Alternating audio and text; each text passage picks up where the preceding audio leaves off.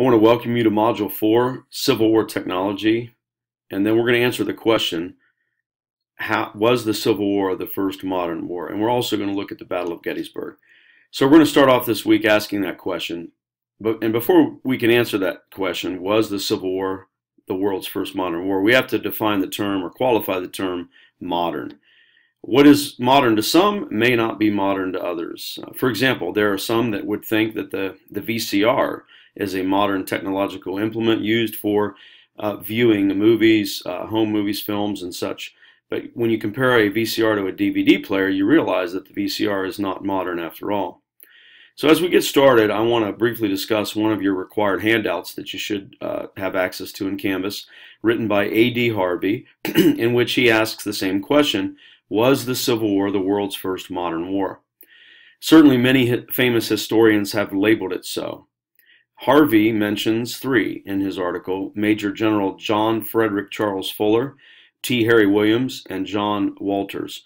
All three of these historians argue that the Civil War was indeed the first modern war, but I think their reasoning has to do with the fact that the Civil War falls between the first and the second industrial revolutions, which made it possible for the manufacture and use of what would have been considered modern weapons at that time. Things like torpedoes, submarines, uh, the telegraph, railroads, and rifled muskets all lend credence to the argument that the Civil War was the first modern war. But the only problem with this is that some of these items existed prior to the Civil War. For example, submarines were used uh, during the Revolutionary War, not to a great degree, but they were.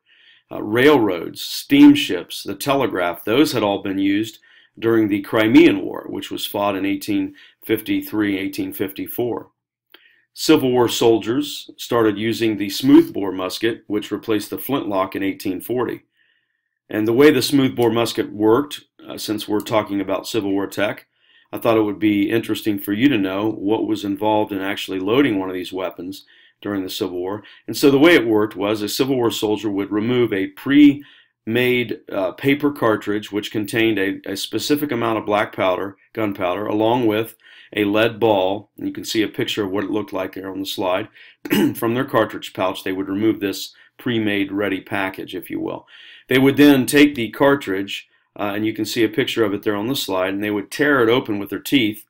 They would then pour down the powder charge into the muzzle of the, the uh, musket, they would then take the, the round ball, they would place it on the top of the muzzle, remove the ramrod, which was uh, uh, positioned beneath the barrel, and they would ram that uh, uh, projectile all the way down to the bottom of the barrel. So you've got a, a bit of black powder at the very bottom. Uh, on top of that is a, a, a, a round lead ball. They would then take a what was called a percussion cap, uh, a little tiny metal cap with a little bit of fulminate of mercury, a little explosive charge in it. They would then affix that to a, uh, a hollowed out part on the, mus- on the muzzle's firing mechanism. They would then cock the hammer and they were ready to fire. So this system was known as cap and ball, and the whole procedure involved nine steps, and it allowed the average Civil War soldier to fire off about one round every uh, two minutes or so. Now, by the war's end, Civil War soldiers had access to a new weapon system uh, called the rifled musket. Basically, it was the same thing as a musket. It looked the same, the only difference being that inside the bore, the barrel, if you will, there were these uh, uh, helical grooves that had been carved into the metal of the muzzle. And the, this was designed to be used with a projectile called the Minié ball, which was designed by Claude Minié a cylindrical soft lead projectile, had rings cut into the base of it, which allowed it to, to grip the rifling on the inside of the bore, as you can see on the picture there. And what that did was when the soldier fired the Minié ball out of the rifled musket, it would put a spin uh, on the on the on the projectile, much like a football when you throw a, a spiral pass. That's that's going to be more accurate. Same thing with the rifled musket. And so when this soft lead projectile exited the muzzle of the rifled musket, it would expand in flight and would create devastating results on those uh, that were struck by it. A great many Civil War historians make the argument that due to its increased accuracy and lethality, the advent of the Minié ball was basically the catalyst that forced Civil War combatants to begin digging in. digging entrenchments, uh, which was a clear departure from Napoleonic tactics. But there's little evidence to support this. Uh, most soldiers fired their new rifled muskets at about the same distances that they had their previous smoothbores. Uh, but there's two notable historians that I want you to be familiar with. One of them is named Earl Hess. Earl Hess has written uh, several volumes on Civil War tactics, digging entrenchments, fortifications, and the like. And the other gentleman's name is Paddy Griffith. And both of these historians argue that they argue the other side, and they give evidence that the average range of a Civil War firefight was really not that different than when each side used smoothbore muskets. And this was primarily due to a lack of emphasis on marksmanship training. So while in you know an, an 1861 Springfield rifled musket may have boasted an effect, effective firing range of say 400 yards, the average firefight during the Civil War happened at 100 yards or less. Uh, typically 68 yards is the average. And there were a number of reasons for this. First, number one, most Civil War soldiers were accustomed to the smoothbore musket, which only had an effective range of about 100 yards. Most soldiers felt more comfortable shooting at the enemy within this range. Also, the Civil War, like the Crimean War, was a black powder war. Before the invention of smokeless powder in 1884, firearms produced this, this acrid, thick uh, layer of blue-white smoke that soon enveloped the battlefield and made it difficult to see the enemy at long ranges anyway. According to Paddy Griffith in his book, Battle Tactics of the Civil War, quote, the arrival of the rifle musket actually made very little practical difference on the battlefield, end quote. So we can conclude that it wasn't the use of the rifled musket that forced soldiers to begin digging into the earth, uh, by the way, which forecasted the great battles during the Western Front in World War I. Rather, it was the increased frequency of meeting the enemy in combat that forced men to dig in. Simply put, the continuous nature of Civil War combat caused men to dig in. now, the introduction of the Spencer repeating rifle in 1863 revolutionized small arms warfare, making it possible for a soldier to fire a round every time he worked the lever of the rifle. Made in both a rifle and a carbine version, the Spencer had a demoralizing effect on Confederate soldiers. The Spencer could fire a magazine of seven copper rimfire cartridges in 30 seconds. Now, just a quick explanation on the difference between what's called a rimfire and a centerfire cartridge. With a centerfire round, the firing pin of the rifle or pistol strikes a primer located in the bottom of the brass casing, setting off a minor explosion which ignites the gunpowder inside the casing, forcing the projectile out the end of the barrel of the weapon.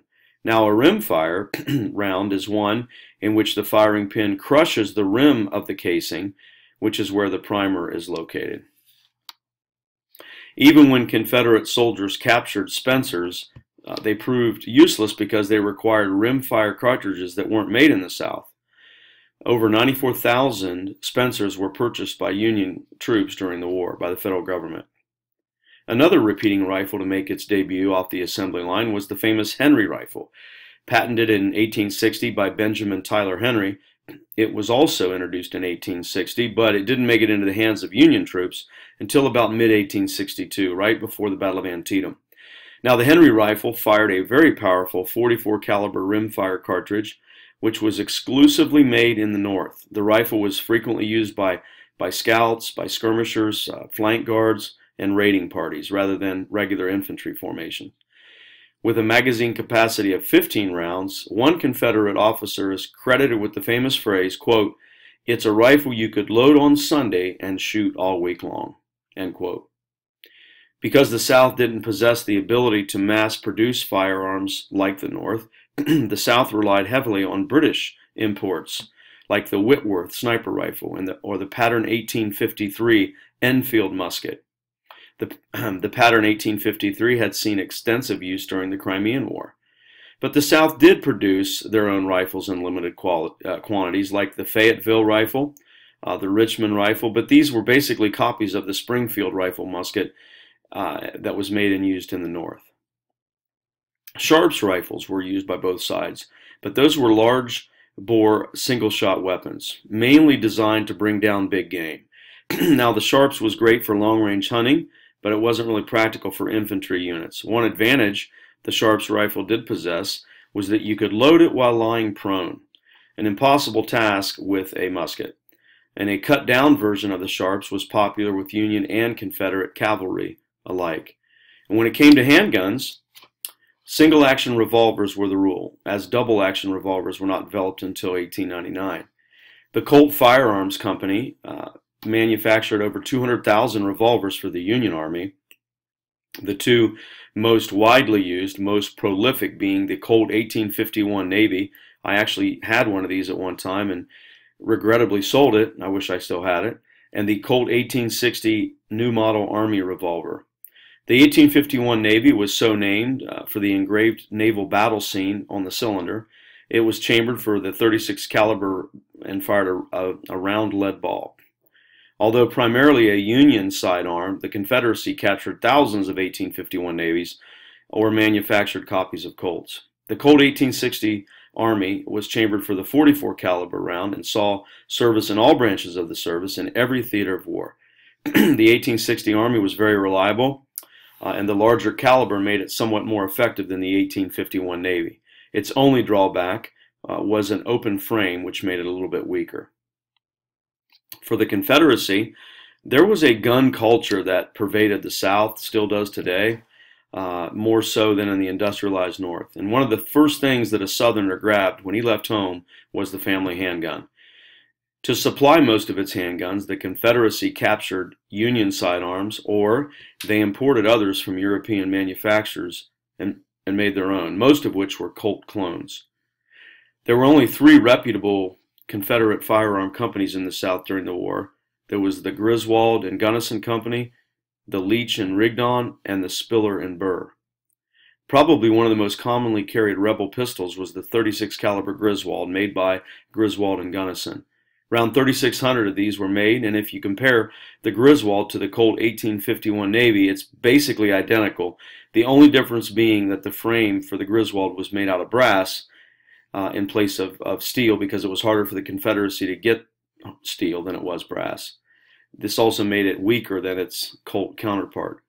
Another Confederate favor on the right there was the, the LeMat revolver. And this was a French import. It could fire nine successive shots, followed by a single burst of buckshot.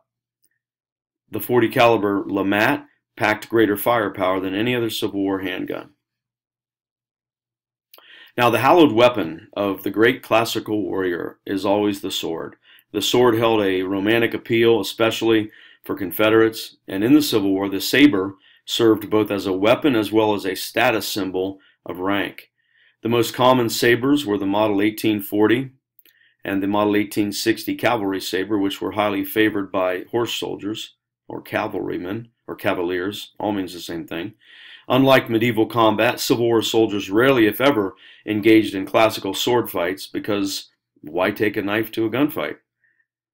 The most common method for employing the saber in combat was to ride down an enemy foot soldier and then strike down at him from a higher mounted position. Soldiers from both sides of the war also carried fighting knives uh, for close quarters combat. The more commonly fielded knife was the famed Bowie knife, named for Alamo hero Jim Bowie, who supposedly designed the knife. Now, considering all the weapons that we've looked at so far, the one thing that they all have in common is that they were personal weapons, issued and used by the individual soldier in combat. Therefore, they required the soldier to wear field gear.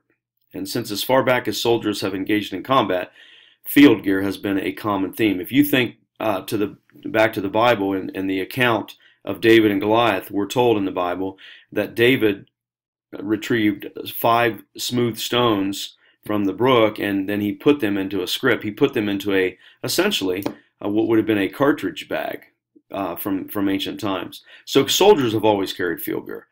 It's a very common thing. Field gear for both the Union and the Confederacy was pretty much the same, about the only difference being the letters U.S or CS stamped or embossed on it. It could also be worn on the soldier's infantry belt, this, this gear. Uh, the primary piece of field gear worn by both sides was the cap box and the cartridge box. Uh, these two items were essential for a soldier to load and fire to work his musket. The cap box was made of leather, worn on the right side of the waist belt, and contained copper percussion caps, as I mentioned a little while ago, necessary to fire a musket. The model 1855 cartridge box was also made of leather, was larger, often worn uh, with a shoulder belt and with a metal buckle with US or CS on it. It could also be worn on the soldier's infantry belt, but was rarely done so. The 1855 cartridge box held 40 pre-made, pre-packaged rounds of either 54, 58, or 69 caliber. And so when a soldier opened the model 1855 cartridge box, it, it, he found it divided into two compartments. In addition to the cap and cartridge boxes, soldiers also wore a pattern 1851 haversack, which was basically slung over the shoulder. Uh, the Army haversack was used primarily to carry extra food, personal hygiene items, uh, or keepsakes like family photographs. The Model 1855 knapsack was another item of issue to all foot soldiers and was worn on the back with leather carrying straps over both shoulders. And in this knapsack would contain things like spare clothing, extra socks, maybe extra shoes, uh, mess equipment, fork, spoon, maybe a mess tin, personal items, maybe a wool blanket, maybe even a shelter half. Of course, no soldier's field gear would be complete without some way to hydrate himself. the Union Model 1858 canteen was made of tin and used a cork as a stopper. And this tin can canteen was also popular with the Confederates when wooden canteens of Southern manufacture were not available. Officers typically carried both a saber and a pistol, which was kept in a leather holster and worn on the leather infantry belt. So if you want to take a look at this picture, and uh, you may need to look at the slides in Canvas to get a little better look at some of these slides because of uh, of the inset of myself talking to you on the on the corner there. But like today, individual armies wore distinctive uniforms during the Civil War. Uh, these were wool uniforms for the Union. The North's economic advantage over the South enabled Federal soldiers to be uniformed in a more standardized manner than their Southern counterparts. So if you look at Billy Yank there on the left, you'll see what, what was a typical Union or Federal uniform. And as you can see this Union soldier pictured on the left, he wears the, the standard kepi, K-E-P-I, or forage cap. He's wearing a blue enlisted man's wool sack coat, light blue wool trousers, and shoes that were called brogans. Around his waist, you can see he's got his cartridge and his cap box. The haversack is visible slung over his left shoulder, and he has his knapsack on his back with the wool blanket roll. On his left, you can also see the canteen and a tin drinking cup. He also has a bayonet on his left side. Now on the right, you see the Confederate soldier dressed in what's called butternut. That was a color. Confederate uniforms initially varied greatly due to a variety of reasons, such as location, limitation on the supply of cloth and other materials.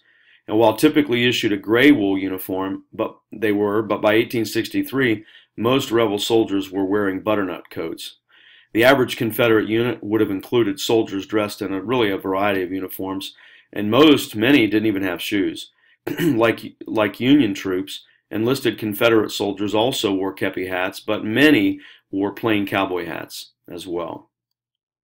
Another type of uniform seen in the Civil War was the zouave, Z O U A V E, the zouaves. The zouave hailed from the French army and were originally recruited in the 1830s from native, Nor- native North African troops, uh, but the units were soon made up entirely of Europeans.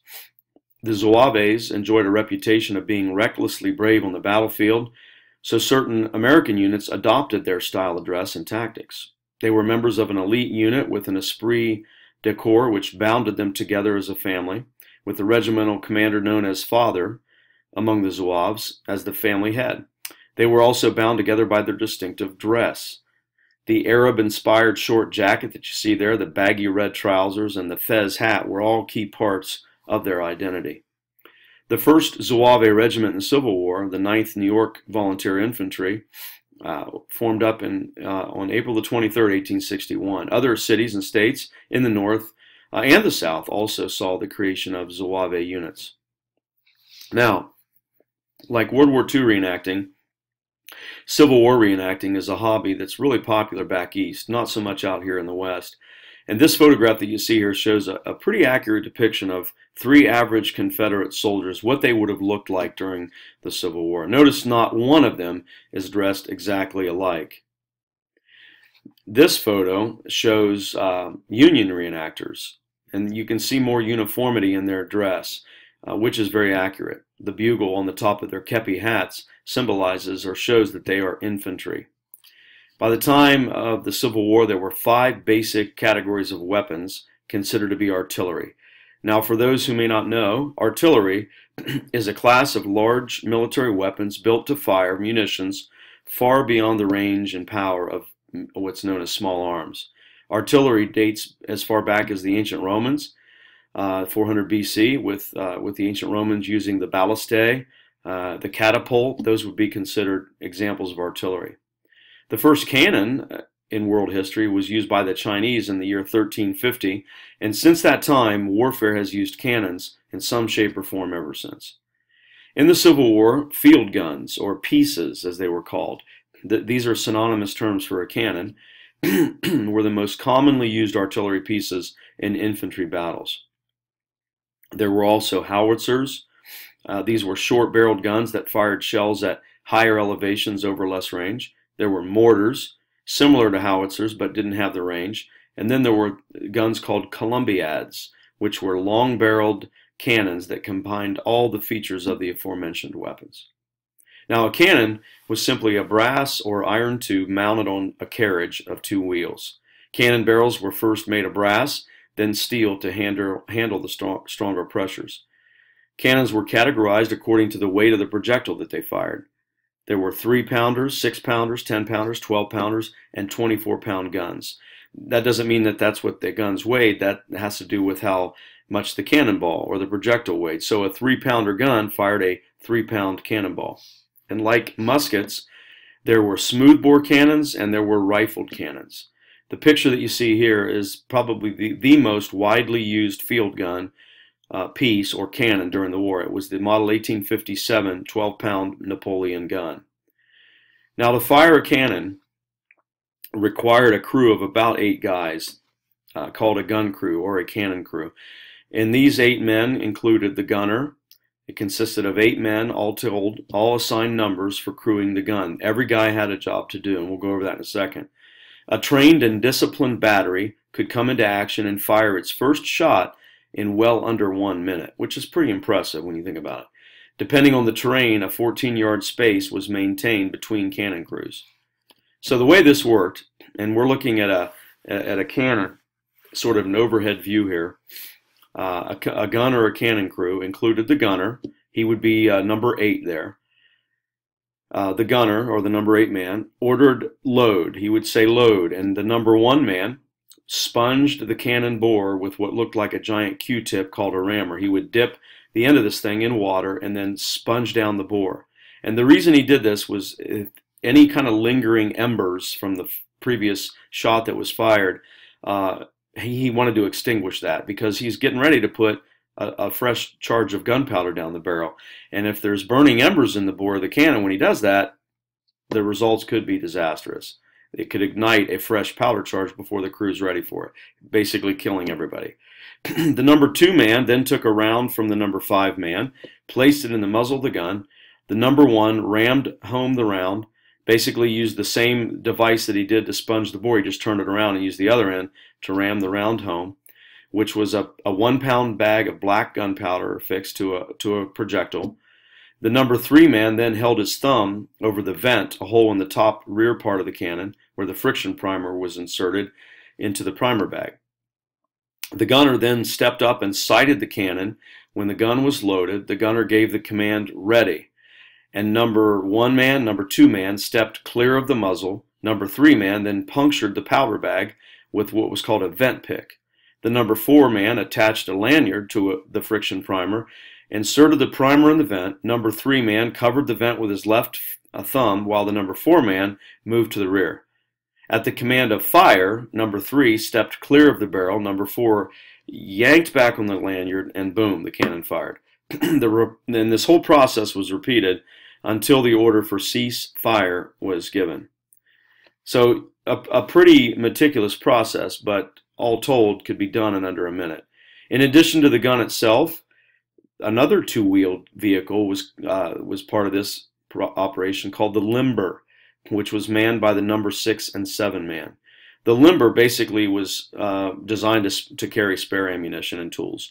Contained uh, 50 rounds of six pounder, 32 rounds of 12 pounder, depending on the gun, and other various pieces of fixed or semi-fixed ammunition.